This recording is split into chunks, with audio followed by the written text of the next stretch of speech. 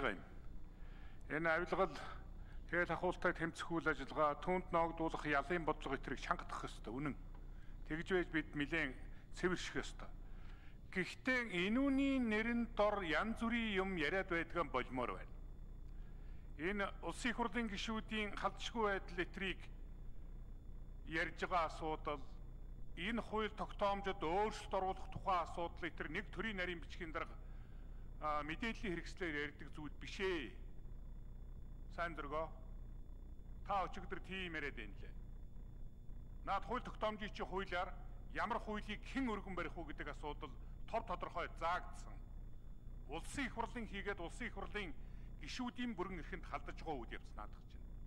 Одоо энэ чон борооноор гэдэг шиг янз бүрийн юм ярьдгаа болцгоон шүү. Инүмнийгээ нэлээд сайн ойлгоцгоох ёстой шүү. Нийгмийн сэтгэл зүй тийм амаргүй байна. Биднээс шударгаас шаардж байна. Гэхдээ наад гişүүдийн халдашгүй байдал чинь яг нарийнда гişүүдийг хамгаалгаад байгаа зүйл муу юм уу?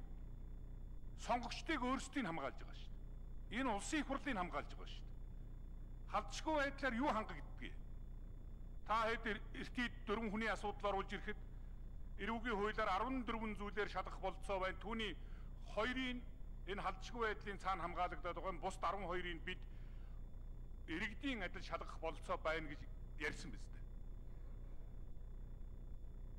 Тэгээ энэ хуулиудыг иргэд олон түмэнд зөв сурталчлах, таниулах юмнуудыг хиймээр байгаамаа. Худлаа нэг нэр хэлээд тэрний цаана аймаар юм байгаа юм шиг харагдуулаад асуудалд ханддаг одоо болох ёстой шүү. Энэ явж явж ийм зүйл гэж. За нөгөө талд энэ төрийн болон орон нутгийн өмчтэй тэр компаниудын өдөртөх хийгээд гүйцэтгэх албан тушаалтнууд янз бүрийн асуудал үүсгэсэн бол ялын бодлого нь чанга байх хэвээр. Өнөөдөр энийг чинь тойрч явж байгаа. Дээр нь яагаад энэ улсуудыг томилдог улсуудын тухай асуудал яригдахгүй байна. Наа төрийн өмчийн бодлого зохицуулалтын газар чинь тэр гэрээ хийсэн этгээдүүд чинь яага яригдахгүй вэ? Энүүнийг та нар юу гэж үзээд байна гэж. Дараагийн нэг зүйл. 22-ын нэг бол албан тушаалан урвуулан ашиглах гэж ярьж байгаа маа. Энэ өндөр албан тушаалтангуудад төдийлөн хамаагүй баг үнэндээ. Их хурлын гишүүн янз бүрийн бичиг гаргахгүй байж болно шүү дээ. Гэтэл бүхэл бүтэн нэгж толгойлж яваа хүн тэр нэгжийн хөгжлийг хангахын тулд ганц нэг гайгүйхан аж ахуй нэгж боожуулахын тулд ийш тийшээ асуудал тавьдгийм аа. Одоо тэгээд хүсэлт тавьсан албан бичгийг нь гарын үсгээр тэр амтныг барьж аваач хорих тухай асуудал яригдах гэж шин наанч. Ойлгож байгаа үү? болох юм уу энэ чинь? Энэ үнийг юу гэж ойлгоод? Энэ сум орон нутгуудын чинь төсөвд ордог хүн амын орлын албан татвар газрын төлбөр үл хөдлөгч гэдэг юм уу энийг нэмэгдүүлэхийн тулд наад улсууд чинь хөгжлөө урагшлуулах гээд аж ахуй бизнесийн харилцаагаа ахиулах гээд бас бүхий л талаар анхаарч ажилладаг. Тэгээ тэрний төлөө бичиг гаргасныхаа төлөө хариуцлах үйл юм. Үнэхэрийн авилгад автсан тийм байгуул тэрүнд ноогддог ял зэмийн бол том тогтоох ёстой. Үнэн. Энэ албан тушаал урвал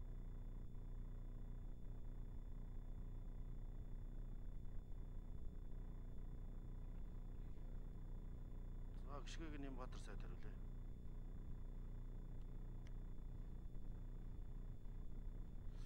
Би сая Бачаргал гишүүний эхний ярьж байгааг юусоо ойлгосонгүй. Хууль тогтоомжийн хуулиар Монгол улсын засгийн газар эрүүгийн хуульд нэмэлт өөрчлөлт оруулах хуулийн төслийг өргөн барих одоо гол субъект нь. Ер нь цаашдаа бид нар хууль тогтоомжийн хуульд нэмэлт өөрчлөлт оруулах төсөл бэлтгэж чад. Тэн дээр эрүүгийн болон зөрчлийн хууль за төсвийн хууль энэ тодорхой татврын хууль гих мэт энэ хууль тогтоомжуудыг зөвхөн засгийн газар өргөн мэдүүлнэ гэдэг ийм одоо өөрчлөлтүүд цаашаа явагдах байх сая Монгол улсын үндсэн хуульд орсон нэмэлт өөрчлөлтийн хүрээнд бас хууль тогтоомжийн хуульд нэмэлт өөрчлөлт орох энэ ажил ингээ үргэлжлээд явагдаж байгаа. Тэгэхээр сайн зураг бол өчтөр зүгээр мэдээлэл хийсэн а хууль тогтоомжийн хуулийн дагуу хууль зүйн дотоод хэргийн яам дээр эрүүгийн хуульд нэмэлт өөрчлөлт оруулах хуулийн төслийг боловсруулад засгийн газрын хуралдаанаар оруулаад улсын хурлд өргөн мэдүүлэх зөвшөөрлийг өчигдөр яаралтайгаа өрмөр олгосон. А мэдээллийг олон нийтэд хийх хийхийг би даалгаж төрийн нарийн даалгаж ийм ийм өөрчлөлтүүд орж байгаа. 22 дугаар бүлэгт хэргийг хялбаршдаггүй болгож байгаа. 22 дугаар бүлгийн 22-ын 1, 22-ын а 4, 22-ын одоо энэ тодорхой зүйл залтууд дээр бид нар нөгөө ял наймаалцдаг, хялбаршдаг энэ асуудал иргэд олон нийтийг бухимдуулдаг байсан, 40 сая төгрөгөөр торгодог байсан. Энийг үндсэндээ болиулж байгаа. Энэ ердийн журмаараа хууль заасан дээр ялаа өгдөг ийм зохицуулт орж байгаа гэдэг л ийм мэдээлэл хийсэн гэдэг хэлээ. За би таны тэр 22-ын нэгтэй холбоотой нэг зүйлийг тайлбарлахад манайх нөгөө нийтлэг эрх зүйн зохицуулт хийдэг л ийм зүйлтэй. Тэгэхээр энэ 22-ын нэгийг өнөөдөр шүүхийн практикт юу гэж ойлгоод явцсан бэ гэхээр нийтийн албан тушаалтан албан үүрэг бүрэн эрх албан тушаалын байдлаа уруулан ашиглаж эсвэл зориуд хэрэгжүүлэхгүй байж өөртөө болон бусдад давуу байдал бий болгосон бол энэ гэмтрийн субъект болоод байгаа.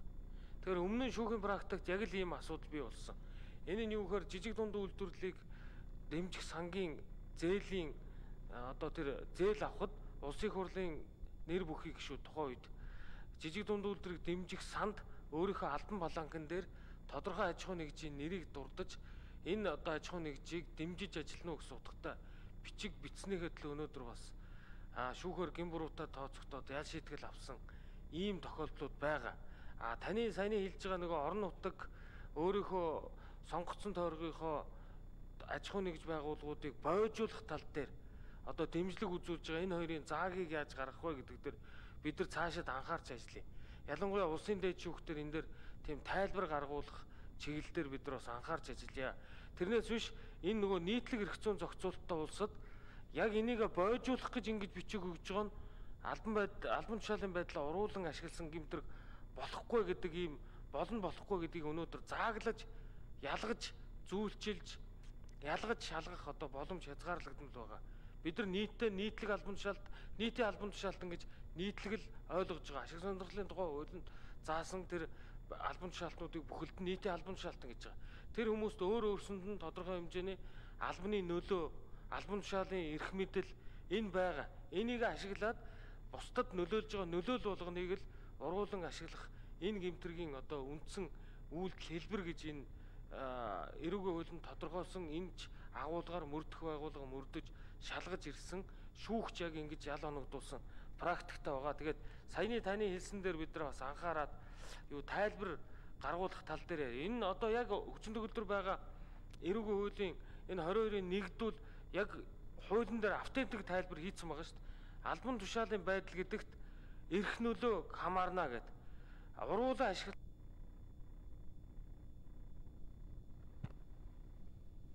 За жигждийн бачаагаар л гүшүүн тодруулчихсан 1 минут. Сайд миний ярьсныг арай буруу ойлгосон юм болов уу? Өчигдөр танай төрийн нарийн улсын их хурлын гишүүдийн халдшгүй байдлыг арилгах ёстой гэдэг юм ярина лээ. Энэ бол их хурл их хурлын гишүүний бүрэн эрхэнд халдаж байгаа зүйл. Тийм учраас ярьдаг юмнууд хязгаартай байх тухай асуудал. Би энэ талаас нь ярьж байгаамаа. Хоёр дахь зүйл 22-ийн 1 дээр зориуд өөрийнх нь чиг үүргийг хэрэгжүүлээгүйгээс хэн нэгэн давуу байдал үүсгэсэн тухай асуудал яригдж байгаа юм. Тэгэхээр өнөөдөр бид энэ эрх мэдлийн хуваарлалт чиг үүргийн тодорхой болголтынхаа асуудлыг илүү нягтлж үзэхгүй бол байдал бас тийм амаргүй. Бас энэ нэгжийн удирдлагууд чинь хуучин бол одоо мэрэгжлийн хяналт чиг үүрэг хэрэгжүүлээд явдаг байсан. Энэ нөхдүүд шалгалт элдв усан юмны доголдолтой гэдэг юм уу? Гүйцэд үр дүнгүй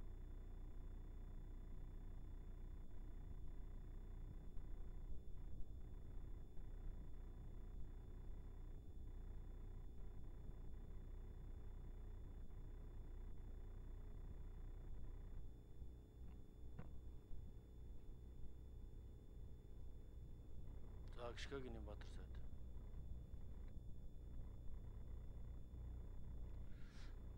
Зөө зөө бацаргал гүшүүнэ. Тэр хэн сайн зургийн тухайд мэдээлэл хийсэн тухайд бол ер нь жагсагчдаас ийм шаардлага тавьж байгаа гэдээ ерөнхий сайдад шаардлага ирсэн. Тэгээ шаардлагын дагуу ерөнхий сайд ер нь хууль зүйн дотоод хэргийн яамыг энэ бүрэн эрх, халдшгүй бүрэн эрх гэдэг энэ ойлголтыг цаашид одоо арилгах ийм эрх зүйн зохицуул байвал яасан юм бэ гэдэг агуулгаар судлах ийм үүрэг даалгавар өгсөн. За би тантай санал нэг байна. Улсын хурлын гишүүний халдшгүй гэдэг нь зөвхөн өөрсдийнх нь улсын хурлд хадгалагддаг ийм асуудал. А нөгөө талаасаа гадна талдаа иргэд олон нийтийн тавьж байгаа шаардлага талаас бол ийм зүйлүүд байсан. Энэ талаас бид нар судалж байгаа гэдэг л ийм мэдээлэл хийсэн. Цаашид бид нар бас энэ мэдээлэл өгтөө олон нийтэд мэдээлэл өгтөө нэг цонхоор зөв мэдээлэл өгчөө гэдэг дээр анхаарч ажиллая. А саяны тэр нөгөө нэг ер нь эрүүгийн хуулийн энэ ерөөсөө 22 дугаар бүлгийн үйлдэл нь